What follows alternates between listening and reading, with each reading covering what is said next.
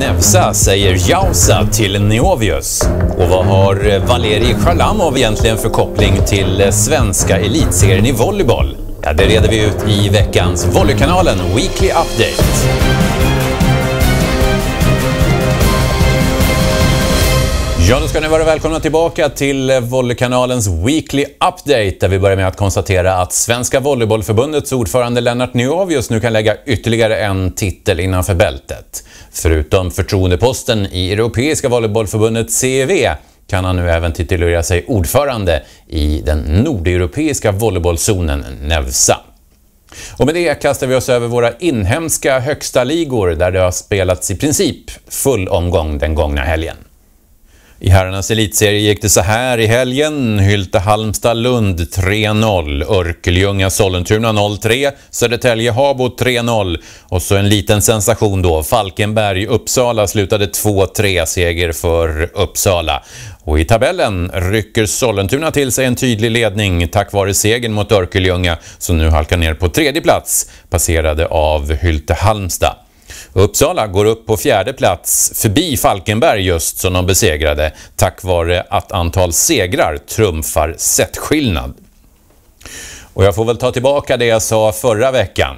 De får nog bereda sig på en eh, betydligt tuffare fortsättning av elitserien. Och Uppsala åkte dessutom till bortamatchen med endast nio spelare och utan tränarduon Patrik Törner och Micke Gestin, vilket tydligen var ett eh, vinnande koncept. Det visar att allt kan hända i pandemitider. Lika bra då att vi kastar oss över något som känns mer tryggt och konstant som motvikt. Ja, ni vet vad jag talar om. Hylte Halmstads damer och deras segersvit. Så här gick det i damernas elitserie under den gångna helgen. Linköping-Örebro 0-3, Hylte-Halmstad-Gislaved 3-0, Värnamo-Sollentuna 0-3 och så Lund-Lindesberg 3-0 där Lindesberg fortfarande inte har tagit ett enda set på hela säsongen, men de var nära idag. Tre setbollar i tredje set för Lindesbergs del i den matchen. Och så avslutningsvis då Ängelholm mot Iksu slutade 3-0.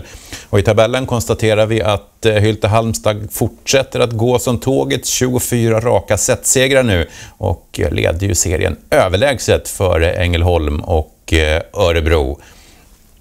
Hylte Halmstads damer känns lite grann som Sovjetunionens herrar i hockey på 70 och 80-talet när det som var spännande var vilka som skulle komma tvåa efter dem i VM. Ska vi kasta oss över förhandstipset då, då se hur jag har lyckats med mina kvalificerade gissningar från eh, förra veckan. Vi har ju de färdiga resultaten att eh, jämföra med. Nu ska vi bara ta fram här och se hur eh, jag har lyckats med det här också. Om vi tittar på resultaten då, då. Vi kan börja med damserien där eh, Linköping-Örebro slutade 0-3. Jag hade tippat 1-3 i den matchen.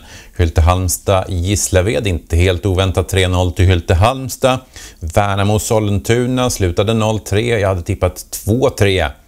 Eh, Lund-Lindesberg 3-0 till Lund. Jag hade tippat 3-2. Och eh, Ängelholm fick sin 3-0 mot Iksu som jag också hade gissat på. Så att eh, vi får konstatera att jag hade alla rätt på eh, segrare i dammatcherna och eh, i alla fall eh, två stycken matcher där jag hade tippat rätt på eh, setsiffror också. Ja, rätt okej. Okay. Herrserien då, då Hylte-Halmstad-Lund. Där trodde jag 3-2 till Hylte-Halmstad när det blev 3-0. Södertälje-Habo var jag helt ute och cyklade. Södertälje vann ju den matchen med 3-0. Jag hade trott på 3-1 till Habo. Örkelljunga-Sollentuna, jag hade högre förhoppningar om Örkelljunga. 3-1 tippade jag, Sollentuna vann med 3-0. Och eh, Falkenberg-Uppsala, där trodde jag på favoritseger hos eh, Falkenberg med 3-1.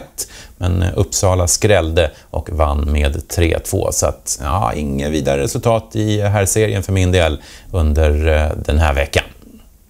Och så var det ju det där med förhandstipset då inför den kommande helgen som är en i högsta grad fullmatad volleybollhelg med dubbelmatcher för ett antal av lagen, vilket gör att det är sex dammatcher och inte mindre än åtta herrmatcher som jag har tippat på det här pappret nu. Och i den bästa av världar så hade vi ju haft ett kuvert att stoppa ner det här i som vi brukar ha. Men eh, det visade sig att det var slut på kuvert så det blir hemläxa till nästa vecka att eh, ordna nya. Vi lägger bara undan den här här så länge.